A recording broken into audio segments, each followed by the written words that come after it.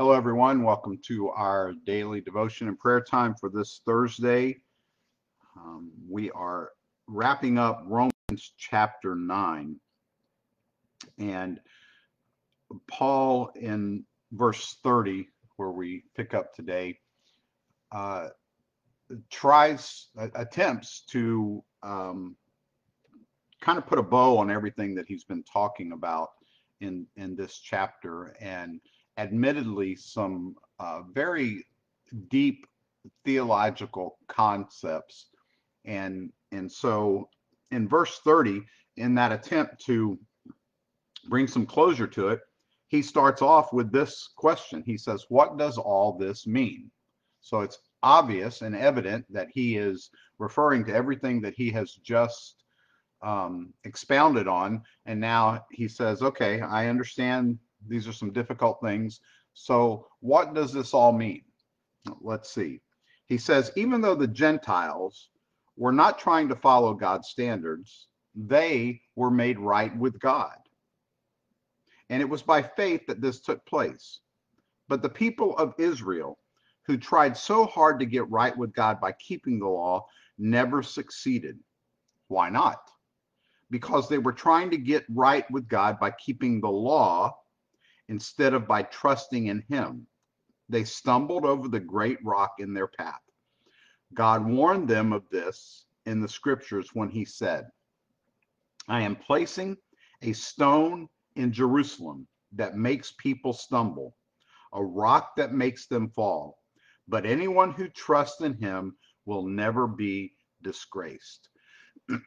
so, in his attempt to make this all clear, Paul makes a distinction between uh, G- Gentiles and Jews, but really it's more of a distinction between believers and non believers. Um, even to this day, there are people who think that you can simply be made right with God by following the letter of the law. A more uh, clear way of saying that is you can be made right with God by simply being a good person, by doing good things, by having good works. And Paul makes it clear that that is absolutely not the case. Why is that? Because it is impossible for us to know how much good we need to do in order to be made right with God. And at what point do we achieve that rightness? And at what point do we slip back? Because of evil things that we have done. And so he said that people have tried to do this. The Jews have tried to do this. People of, of all ages, throughout all the ages, have tried to do this. And the reason that this doesn't work is that it's impossible to keep the law. So, what did God do?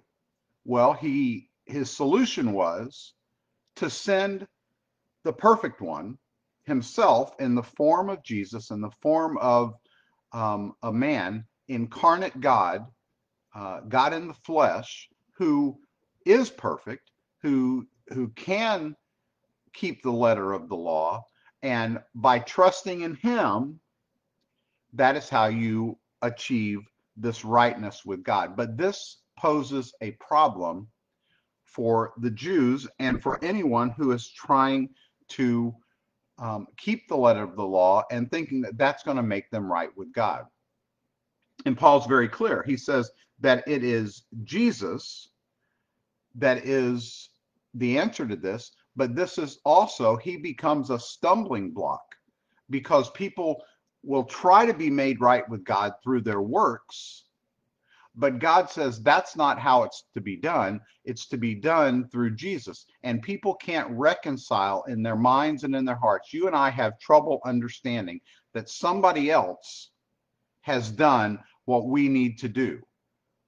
Jesus took our place. He he became the um, the the replacement for us. He he stepped in and became the intermediary between us and God.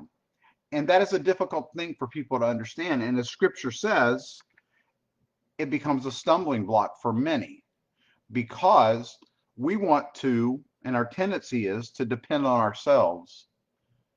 And God says, that's not going to work.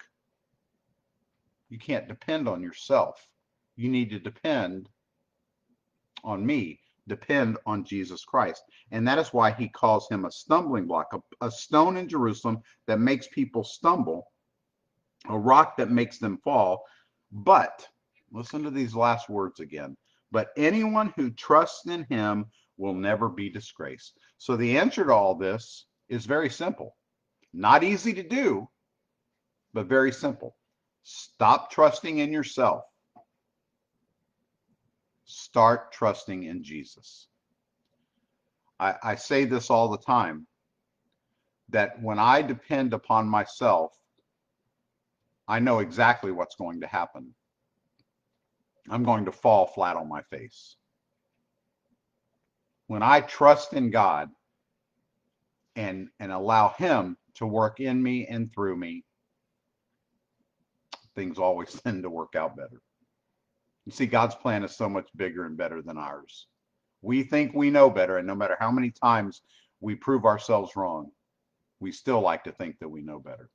So let us all today trust in the fact that God knows best, that He has developed a plan, and we need to trust in that plan, trust in Him, trust in what Jesus did for us, trust in the saving grace of Jesus and not ourselves. There is one thing we can depend on in this life, and it's not us, it's Jesus Christ. Let's pray together. Lord, we come to you today. We thank you for the words of Paul, how how deep his words are, how meaningful his words are, and how we can look at it and and know without a doubt that if we simply depend on you, you've got things well in hand. Help us to today, Lord, to depend upon ourselves less and to depend upon you more. Let that strengthen our faith. Let us grow in our relationship with you. Let us be closer today than we were yesterday to you. And we'll thank you and praise you in Jesus' name. Amen. Amen. Well, I pray that you'll have a uh, super day, that you will uh, trust God, lean on Him, depend upon Him, and let Him see you through whatever you face today. Until tomorrow, as always, may the Lord bless you and keep you. May His face shine upon you. May He be gracious to you and give you peace. And may you fall just a little bit deeper in love with Jesus today. Take care. God bless you.